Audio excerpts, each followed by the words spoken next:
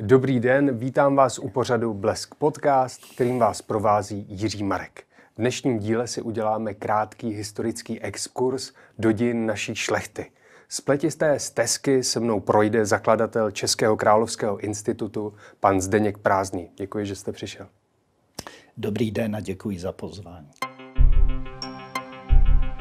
Česká šlechta hrála v našich dějinách obří roli.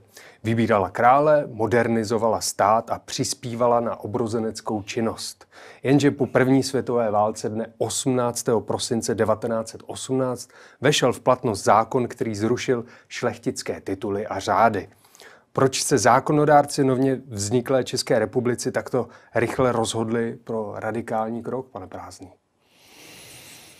No, já myslím, že to by byla otázka na ty zákonodárce, který se takhle rozhodovali, ale pojďme rozebrat, jaká byla situace. Eh, končila první světová válka, bylo evidentní, že se rozpadne monarchie. Monarchie se v té době, respektive to pangermánský združení Německa, Rakouska se v té době nehodilo téměř nikomu, francouzům, Britům, Američanům. Eh, čili rozpad byl evidentní a myslím si, že byl evidentní dlouho dopředu. Eh, nemalou roli hrála situace i na východ od nás, tedy v Rusku, v sovětském Rusku, kde bylo po Velké říjnové socialistické revoluci. A samozřejmě konec války, napjatá situace, eh, vliv levíce v Rusku a celý průběh, to všechno ovlivňovalo eh, smýšlení v Evropě, nehledě k tomu, že do popředí eh, se dostávaly i levicově smýšlející strany ta situace vznikala eh, krom jiného tak, že eh, šlechta nebyla brána jako určitý eh, národnostní prvek, tedy to jsme my, ale byla vnímána my a oni. Myslím, že z trochu nadsázky se dá hovořit krom jiného i o tom, že Eh, rok 1918 byl jakýmsi nepřímým pokračováním nepovedené buržázní revoluce z roku 1848 až 1849. Eh, tohle všechno bylo podhoubí eh, pro podobné opatření a nějakým vyústěním, respektive oddělením toho my a oni, byl právě zákon o zrušení Eh, šlechtických titulů, respektive o zákazu jejich používání, který pod eh, číslem 61 eh, z roku 1918 vešel v prosinci v platnost. Mm-hmm. A tím jsme vlastně ukončili ten kruh, jak jsem se vás ptal. A ještě další důvod, odborníci to tak vysvětlují, je, že u nás bylo takzvaně přešlechticováno, že se s tituly šlechtickými v 19. století obchodovalo, že je mohl získat víceméně kdokoliv, kdo měl nějaký značný majetek. Tak nebyl i tohle ten důvod, proč k tomu přistoupili? Uh, ono je nepochybný, že to mohl být jeden z těch důvodů. Eh, ono je, nebo celkově ta situace v druhé polovině 19. století a na počátku století 20. v podstatě až do vzniku nebo do zahájení první světové války byla taková, a to asi není velkým tajemstvím, to se dá vytáhnout v nějakém materiálu, že eh, období vlády Františka Josefa I Eh, přineslo víc šlechtických titulů za těch jeho 67 let panování, než za celé období před Josef, Františkem Josefem I. To znamená, těch šlechticů bylo e, asi hodně. Nemyslím si, že by zrovna tohle byl eh, jeden z důvodů, nebo nenacházím tam přímou souvislost, proč by tohle měl být jeden z důvodů, ale e, Ono je potřeba taky si odpovídat na otázku, kdo byli ty nově vzniklí e, šlechtici, jestli opravdu byli uplácení, nebo, a on to byla určitá forma ocenění. Dneska dáváme řády, rozdáváme medaile, v té době forma ocenění byla, že se někdo stal svobodným pánem nebo v tom nejnižším postu šlechticem jako forma ocenění za to, co dokázal. Možná i tohle byl jeden z prvků, který se posléze neodpouštěl, ale eh, to, to, že by těch šlechticů bylo moc, asi nebude moc, eh, moc pravda, nebo já to tak nevnímám, eh, jenom kdybychom číselně to chtěli vyjádřit, tak na tom přelomu roku 1918-19, nebo než vešel v platnost onen zmíněný zákon, tak těch šlechtických rodin nebo rodů v celé zemi bylo kolem 200. Jak na to reagoval dobový tisk, eh, lidé a pak teda ta šlechta, když eh, se mluvilo o tom zákonu a později, když teda vyšel v platnost? Uh... Ono je potřeba to rozdělit na dvě části. Jedna část byla ta, která se šlechty zastávala a těch eh, lidí nebylo málo, že ve většině případů to byli všichni, řekněme, sloužící, zaměstnanci, lidé, kteří eh, tu šlechtu znali, ty to vnímali trochu jako křivdu, už jenom z toho důvodu, že ta historická šlechta se historicky vždycky povíje. To je na tom právě ten paradox, že ta šlechta podporovala vznik republiky, že byla, a to nejenom morálně, ale i materiálně. A v okamžiku, kdy se tak povedlo, tak ta republika se ji odvděčila tím, že, a, a to ještě budeme hovořit dál, jakým způsobem, že se jim negativně eh, takhle za tu jejich snahu nebo za tu jejich činnost a ona nebyla zanedbatelná že se jim takhle odměnila. Na druhou stranu to byl určitý vliv, a teď to nechci zvulgarizovat, ulice nebo někomu, komu se tohle hodilo, ale to jsou že běžní lidské vlastnosti. Pravděpodobně fungovalo něco, jako jak to nazvat, dobře jim tak, že mm-hmm. to mají za to. Svým způsobem v některých případech ono je vždycky otázka najít vhodný zdůvodnění. A to vhodné zdůvodnění bylo historicky vzato, že to je nějaký narovnávání občanské společnosti, že to je určitá, určitá skupina lidí, která historicky byla zvýhodňována, že ve své době fungovali jako feudál a podaný, později jako vlastník panství a jeho zaměstnanec, který byl vykořišťován nebo vydírán, že vlastně ten eh, prvek toho narovnání, všichni jsme si rovni, což je určitý republikánský, taky to mohlo dopadnout daleko hůř, že konec konců nemusíme chodit daleko, Rusko, Francie podobně. Eh, to, to všechno bylo ve vzduchu, že to je potřeba zasazovat do té doby, do kontextu té doby a uh, mohlo se dít lecos a já myslím, že zejména ty okruhy kolem té šlechty tu šlechtu vnímali i nadále jako šlechta, protože že co byla ta šlechta.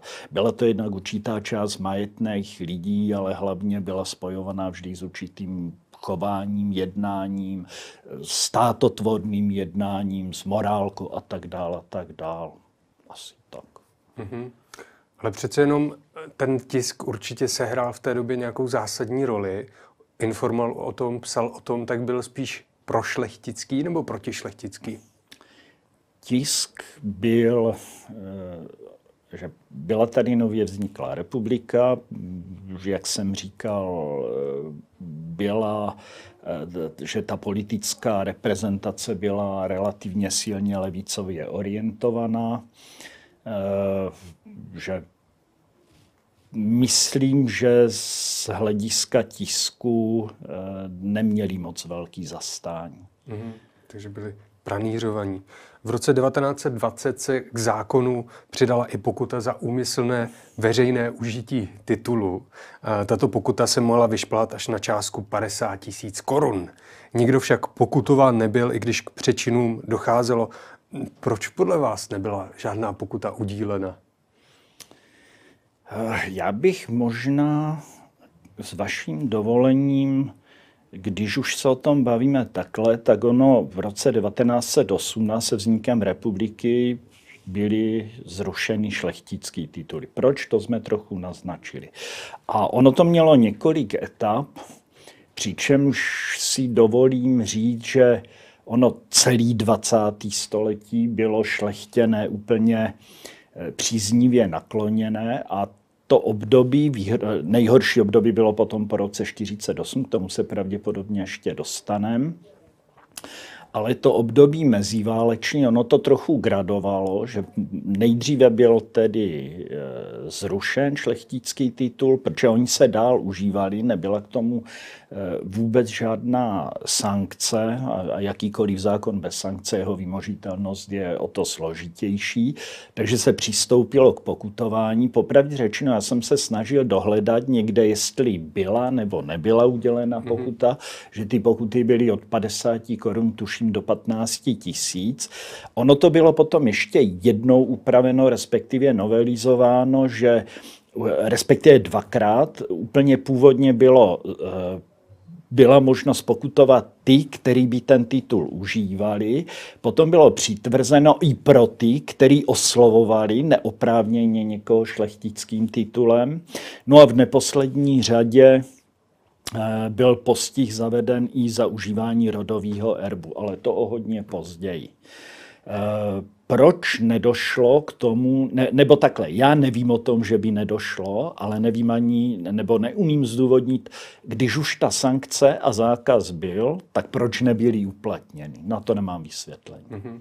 Já si to teda nedokážu moc představit, že by někdo přišel třeba k Schwarzenbergům a řekl jim, tak vy dostanete pokutu 50 korun za to, že vám tady, že vy jste řekl o sobě, že jste kníže, nebo někdo vám řekl, že jste kníže, to asi moc nevím. A, asi by to byl trochu bizart a možná i právě proto, no, pak je tam ještě důležitá věc. Šlechta v rámci pozemkové reformy z roku 1919 přišla o obří část pozemků.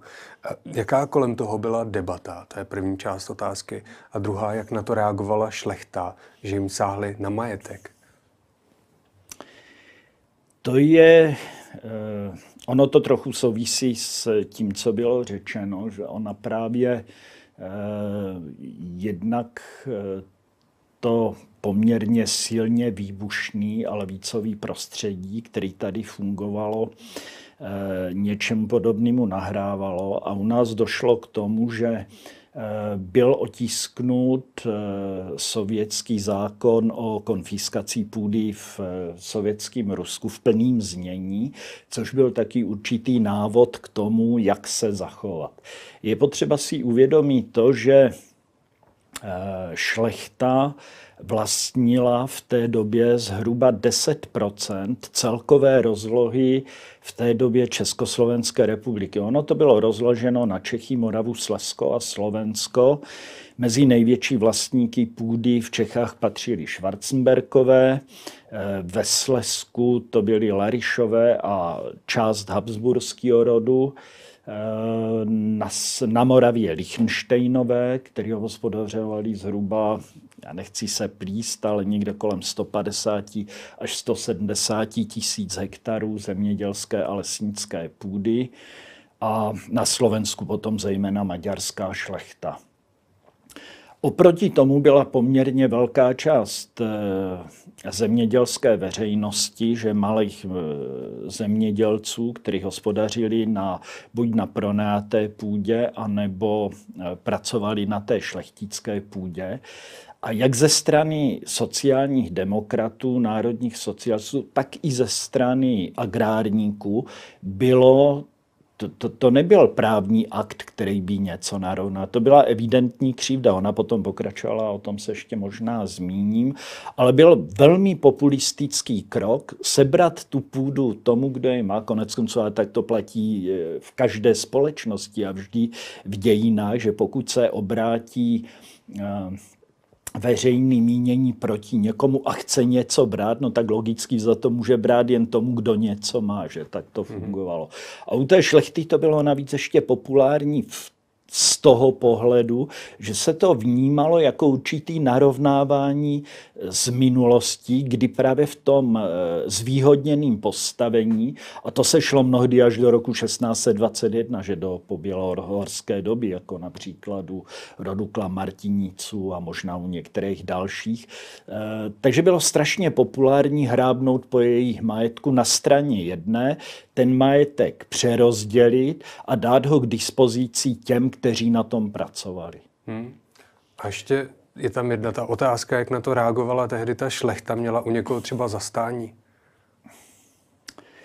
Eh, já myslím, že ono, jak na to reagovala ta šlechta, si asi dokážeme představit. Já jsem se té odpovědi trošinku vyhnul, protože tady by bylo, eh, asi bych odpověděl otázkou, jak mohla reagovat, eh, že oni se vyhrazovali, byla celá řada soudních sporů, ale ten zákon vešel v platnost, vešel v účinnost, byl přijat a navíc ono to mělo obrovskou podporu veřejností, protože ono bylo celkově buď eh, odebráno za náhradu, ale je potřeba si říct, že ta náhrada, která byla použita, tak byla použita na základě nacenění zemědělské půdy z doby předválečné, která byla někde na úrovni jedné třetiny reálné tržní ceny v té hmm. době.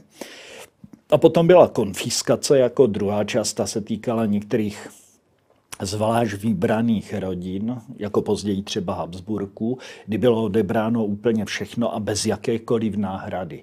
A to byl natolik populární krok, že si myslím, že hodně e, z, zastání šlechta neměla. Hmm, když zmíníte, zmiňujete tu habsburskou rodinu a také rodinu Ferdinanda d'Este, který byl veškerý ten majetek zabaven, znárodněn, hmm, tak jak to, že si troufli na císařskou rodinu, to je přece nepochopitelný, protože 300 let, přes 300 let vládli prostě Čechům, Moravě a Slesku a najednou jim to všechno vezmou. To muselo být, muselo být v té době neuvěřitelný. Pane redaktore, ono neuvěřitelný. Když sekali hlavu eh, Ludvíku 16. a jeho manželce, asi se to z dnešního pohledu zdá taky neuvěřitelně a je to realita. No, někdy někdy doba nahraje, ale když už jsme zmínili ty Habsburky a odebrání majetku, tak ono to má opět několik konsekvencí. První konsekvence je ta, že to gesto bylo opět populární, zbavili jsme se Zbavili jsme se nenáviděného vládce, který nás tady 300 let usurpoval a to, co má, má neoprávněně a jeho majetek je majetek všeho, takže ten majetek byl sestátněn. Respektive on byl skonfiskován a převzal ho stát a k tomu pár kuriozit nebo perlíček. Eh, první věc je, ještě bych doplnil to, že co bylo zajímavé, bylo to, že zatím co u nás sebrali Habsburkům úplně všechno, tak v Rakousku, kde také neměli na růžích ustláno, že tam dokonce to levicové hnutí bylo tak silný, že se obávali e, příslušníci vládnoucí rodiny o život a proto požádali o e, azyl ve Švýcarsku, který jim byl umožněn, protože tam mohla trošku, nebo obávali se to, že císařská rodina mohla dopadnout v Rakousku jako carská rodina v Rusku.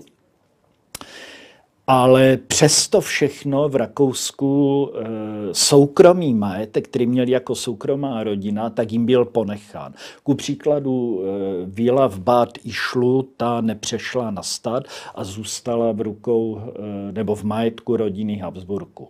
U nás odebrali úplně všechno, a to dokonce i majetek po rodině Františka Ferdinanda de Ste, který měl za, manž, za manželku Češku, eh, Žofii Chodku. A tam je kuriozita v tom, že eh,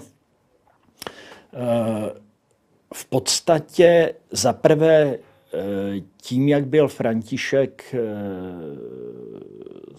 pardon, Ferdinand zavražděn i se svojí manželkou, tak jeho děti který se nemenovali Habsburkové, ale Hohenbergové, už neměli s Habsburkama nic společného, že oni byli vyčleněni, nebyli ani nositelé dědických práv, dokonce nesměli používat ani jméno Habsburg. A po matce pořád zdůraznuju, že e, byli Češi.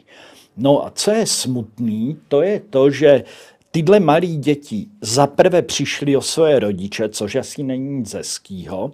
Na základě zákona přišli o veškerý majetek, to znamená o zajištění, přišli o domov, museli se vystěhovat, že byli vyhnáni tady odsud do Rakouska, přestože byli potomcí českých nebo českého rodiče, minimálně jednoho. Eh, mohli si sebou vzít 20 kg, 20 kilový kufr, ve kterém třeba nesměli mít víc jak jedny boty, ne že jedny zimní, jedny, prostě jedny boty.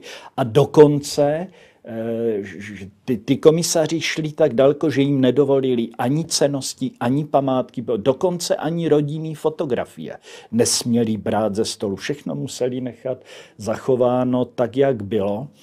Eh, to znamená, z toho kontextu nepřímo si sám odpověste, jak je to možné, když potom do důsledku vzato eh, ty, možná to nazvu až msty, šly tak daleko, že eh, byli schopni postihnout ty malí děti, které už ale Habsburkama nebyly.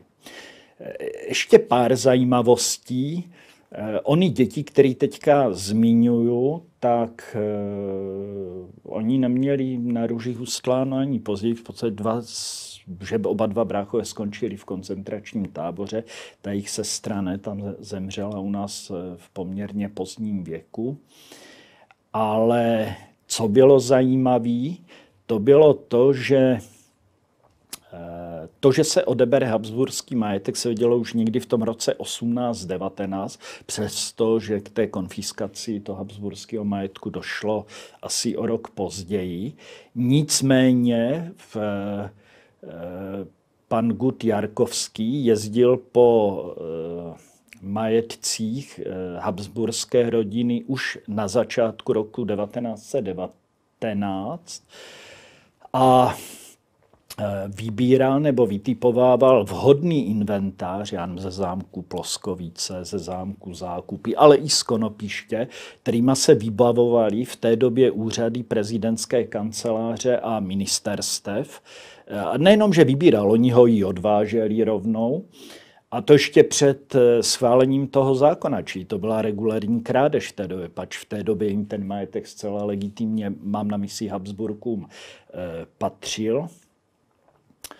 A dokonce se uvažovalo o tom, a proto jezdil právě pan Gudjarkovský, pan doktor Gudjarkovský, že vybíral vhodný objekt, který by byl letním sídlem pro českého prezidenta. Nakonec vybral Lány, ale Nakonec vybrali Lány přesně tak, který teda nepatřili Habsburkům, který byli vynuceně vykoupeni, ty patřili rodu Fürstenbergů. Fürstenbergové prodávali e, za velmi nevýhodných podmínek tenhle objekt České republice s vidinou toho, že zachrání křivokládské panství, ale jak se později ukázalo, ani to se jim nepovedlo. Hmm.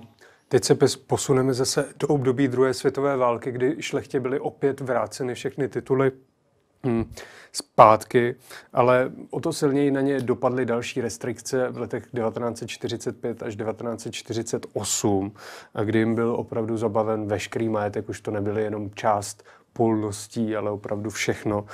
Um, Víme, kam nejčastěji šlechta utíkala a kteří naopak byli odvážní a zůstali tady? Nepochybně víme, je otázka, jestli si na všechny vzpomnem, přece jenom jich nebylo úplně málo. Nejdřív k té první části.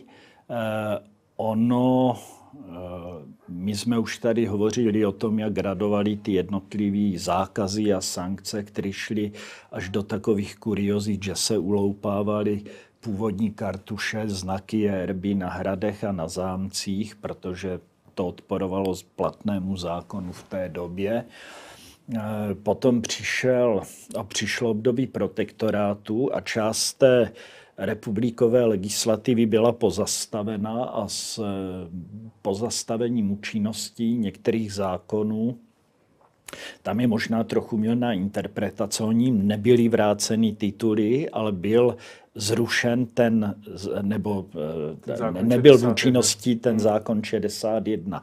Přesně tak, čili v podstatě to období mezi lety 39 od jara 39 od 15. března až do května 40 do vyhlášení Benešových dekretů eh, šlechta mohla zcela legitimně používat eh, šlechtické tituly a ono to mělo zase jiný konsekvence. Krom jiného šlechta byla nebo v té době asi by bylo správně říkat bývalá šlechta, nebo příslušníci bývalé šlechty byli nositele opět nějakého toho hnutí, že oslovili prezidenta republiky, aktivovali, aktivně se podíleli na, na, eh,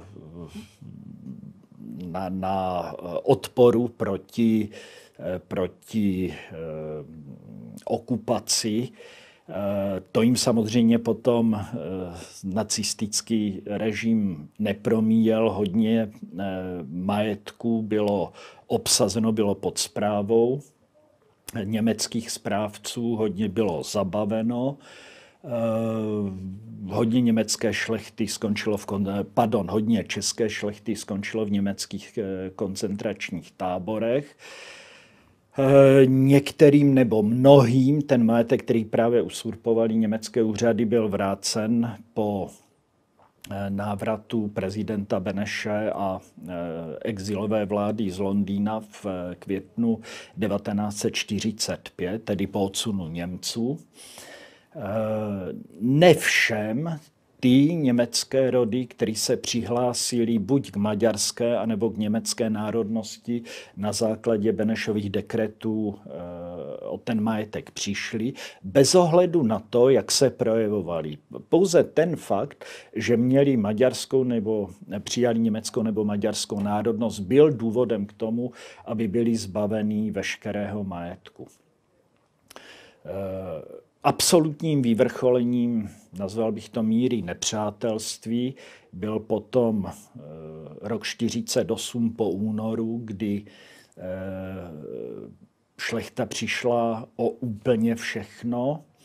Eh, k tomu se váží různé příhody, kdy rozdávali že ty rodiny, které věděli, že budou opouštět republiku, tak ten majetek svůj rozdávali svým sloužícím, protože nevěřili, že se ještě kdy vrátí, anebo na druhou stranu vzácný inventář, že bídrmajerský soupraví rodinný obrazy byly vyhazovaný z oken zámku a zapalovány nenávistně na nádvoří, takže schořelo neskutečné množství památek, které už se nikdy nevrátí. Může to být konkrétní, které rody třeba rozdávali ten svůj majetek? Eh, já třeba mám doma Biedermajerskou jídelní soupravu, která pochází z rodu od Harachu a právě starý pan Harach, když odjížděl, tak si svolal veškerý personál a správci řekl, hele, ty jsi pro mě věrně pracoval 40, 50 let, vyber si, co chceš, on si vybral jeho jídelnu, protože v té pravidelně se dávali, protože sám měl funkcionalistickou vilu, tak jsem to nikam nehodilo, tak to dal do sklepa, takže já jsem sehnal, nebo mě se podařilo získat ten majetek v tom autentickém provedení, tak jak na něm v ten večer před odjezdem hrabě Harach seděl, ale ono bychom našli asi napříč všem a já eh, eh, když jsem přemýšlel jsem o tom, jak, jak těm lidem asi musel, protože to nebyl jenom, to, to není vztah jenom k tomu majetku, ale to je vztah k x set leté historii celého toho rodu, protože že to je domov, ve kterým ti lidé po staletí žili, ve kterým se rodili, ale také umírali. Ale ono je to třeba i živý inventář, že koně, psy. Eh, já mám takový příklad, když odjížděli Schwarzenbergové z Orlíku a opouštěli všechno, mohli si vzít určitý množství věcí, tak samozřejmě zvažovali, co ano a co ne. A je známý, že Karl Schwarzberg měl dva lovecký psy, se kterými se procházel kolem Vltavy, že v té době ještě nebyla. Eh, Orlická přehrada, zámek Orlík byl nad řekou, nad, tím, na tou pěknou podkovou. Jak muselo být tomu klukovi, když odcházel a ty psy, který nepochybně měl rád, to jsou kamarádi, sám jsem pejskař, mám doma dva psy a neumím si představit, jak by mě bylo, že kdybych musel odcházet a vědět, eh, nebo naopak nevědět, jak s těma zvířatama bude naložen. Co mnohdy jednoduchý, smutný, tragikomický konce, kdy nejde ani o majetek, o věc, o její hodnotu, ale o něco, co ve vás zůstane jako křivda až do smrti. Hmm, hmm. Ještě když jsme u těchto tragických příběhů, kterých nabízí po roce 1948 pro šlechtu se jich spousta, tak je ještě nějaký jiný konkrétní, který vás třeba dojímá? Uh... ono na tuhle otázku, jeden z těch, který mě dojímá, byl právě ten příklad toho Karla Schwarzenberka, ale ono, eh, já znám třeba případ, kdy eh, rodina Martiniců hospodařila na majetku v okolí eh, Nového Strašecí. A když přišli o veškerý majetek, a e, po roce 1989 měli možnost se po desítkách let opět vrátit, tak oni neměli zájem o ten majetek. Oni jenom chtěli vidět, jak, jak to tam vypadá, jak vypadá zámek, ve kterém žili, jak se o to starají. No, ze zámku byl blázinec, že jak to vypadalo, já nevím, nebyl jsem toho ale váže se k tomu taková příhoda, že jednak ty Martince do toho zámku vůbec nepustili, vůbec jim to neumožnili. Na jednu stranu se ani nedivím, ale aby toho nebylo málo, tak Martincové si nechali někdy v 90. roce zaparkovaný auto v Praze a když se vrátili, to auto tam nebylo, to auto bylo ukradený. Čili nehezky se k ním zachovali, zámek, který viděli zvenku v téměř zuboželém stavu a dovnitř se nikdy nedostali. A zakončeno to bylo ještě další krádež jejich majetku, tak odsud odjížděli s tím, že starý eh, hrabě Martin řekl, pojď a sem se už nikdy nevrátíme. Ale to není, že by mě dojímal, to je jeden z příkladů toho, jak, jak to mohlo ještě končit a jak to mohlo gradovat. Že já nevím, jak muselo být asi nedávno zesnulé paní hraběnce Nostice, která přesto, že měla x důvodů být eh, vůči Čechům zapškla, pak, pak jim neprominuli vůbec nic, že oni jim odebrali vlastně ten majetek hned v roce 45, že ze zámku v Horní Plané udělali družstvo nebo státní statek, který totálně zdevastovali. A když natáčel František Kínský pořad Modrá krev a jeli se na ten objekt podívat a stará paní hrabinka pár měsíců před svou smrtí ten barák viděla, tak ani nevystoupila z auta, seděla, teklý slzy, protože si uvědomila, že to je definitivní konec, že ten objekt nikdy nikdo nedá dohromady. Zase jsou optimistický pohledy, jako třeba u toho již jednou zmíněného Františka Kínského, který mu to nedalo a e, pustil se do obnovy zámku v Kostelci, že po svých rodičích a dovedlo, podařilo se mu sehnat značnou část původního inventáře. Když jsem u něho byl na návštěvě a provázel mě, a zdůraznil, na tomhle obrazu je ten, tenhle válčil s Habsburkem, tenhle válčil proti e, Turkům, tenhle vykonával úřad kancléře a tak dál, tak jsem pochopil, že peníze v tom nehrají roli. Že ta motivace, ta míra zodpovědnosti a to, co dělá šlechtu šlechtou, je úplně v něčem jiným, jak v té hodnotě toho majetku. Já vám děkuji za pěknou odpověď. Milí diváci a posluchači, pořád sledujete náš pořad Blesk Podcast, kterým vás provází Jiří Marek. Mým hostem je pan doktor Zdeněk Prázdný a my jsme se plynule přesunuli do 90. let, kdy po sametové revoluci probíhala řada restitucí a soudů o navrácení majetku šlechtě, ale Na to se vás nechci zeptat, spíš by mě zajímalo, zdali vy jste v kontaktu tedy se šlechtou, tak zdali ta současná šlechta má nějaký stesk po tom, že pořád se nemůže honosit těmi tituly, co měli před rokem 1918. Uh, eh, já znám opravdu hodně a stýkám se s celou řadou uh,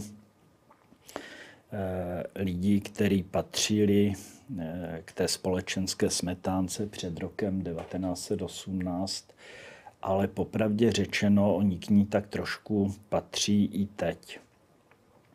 Já jsem měl to štěstí, že jsem hned na počátku 90. let potkal eh, Františka Kolovrata a jeho v té době ještě jeho otce Eh, Jindřicha Kolovrata Krakovského, mu bylo hodně přes 90 let, já mám den 93, 97 let, když jsem přijal, předtím nežádali o restituci jejich rodového majetku.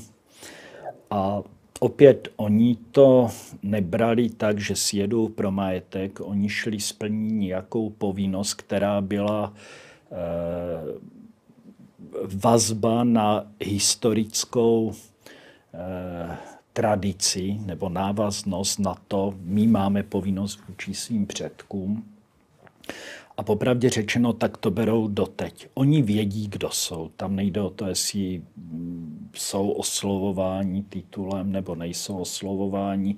A věřte tomu, že i v dnešní době Eh, no, ono je to těžký. Kdo jinak, nebo jak všichni oslavují knížete Schwarzenberga, že nikoho, a nikoho to ani neuráží a on to nevyžaduje sám, ale v lidech to tak trochu, já skoro mám dojem, taká hříšná myšlenka, že lidé chtějí svoji vrchnost a možná ji mají rádi, alespoň v těch případech, kdy mají důvod si je vrátit, eh, si jich vážit. Není mhm. to, není to ve všech případech, ale v těch případech úcty. Konec konců pan eh, pan uh, už jedno zmiňovaný kostelecký uh, Kínský krom toho, že opravil ten rodinný majetek a získal si tím určitou úctu obyvatel, tak je e, starostou města Kostelec a je i tuším krajským zastupitelem v Hradci Králové. No samozřejmě, kdyby si ho neváží, kdyby k němu neměli úctu, kdyby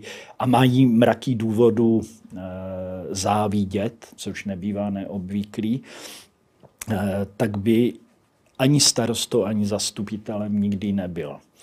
Co je zajímavé k té otázce, jestli je mi to líto nebo jim to není líto, no, mě by to samotného možná zajímalo, do jaké míry jim to je líto. Ale e, zajímavý je to, když se s těma lidma bavíte, tak v těch lidech je nějaká vnitřní noblesa.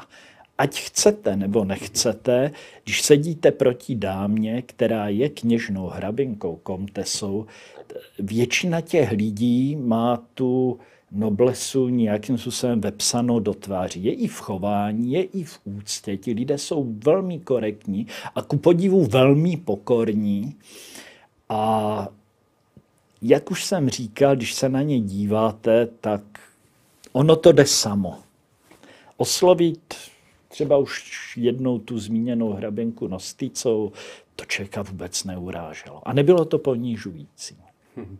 Já moc děkuji, že jste byl hostem našeho pořadu Blesk podcast. Ještě jednou zmíním, že to byl Zdeněk, uh, Zdeněk Prázdný, který je z Českého královského institutu a měli jsme takový letmý pohled uh, do dějin české šlechty. Pokud vás zajímá více, tak určitě Český královský institut doporučuji, kde se chodí také do mnohem větších hloubek a můžete se více dozvědět o české šlechtě nebo o českých králích. Děkuji, že jste byl naším hostem. Já za Český královský institut děkuji za tu příležitost a za pozvání. A vám děkuji, že jste nás doposlouchali nebo dokoukali do tohoto momentu a těším se u dalšího dílu.